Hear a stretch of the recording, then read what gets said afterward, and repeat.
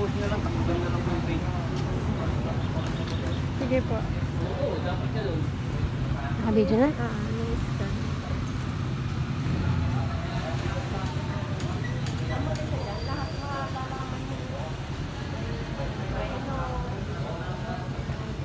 Oh, Para ina-x-ray yung taong gano'n.